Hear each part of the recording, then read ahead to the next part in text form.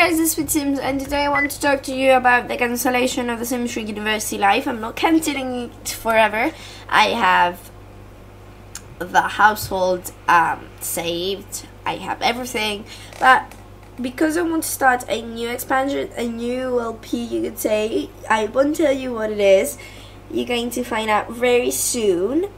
But the thing is that, you know, I just want to end a little bit with university. I but as I told you before, I've saved it and we can play it later.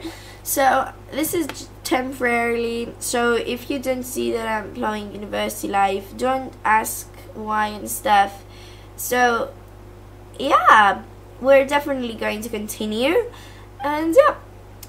I'll see you all in my next video, and I hope you're very excited about the new LP. And don't be, don't get worried, guys. We're going to start again. We're going, we're going to continue right where we were.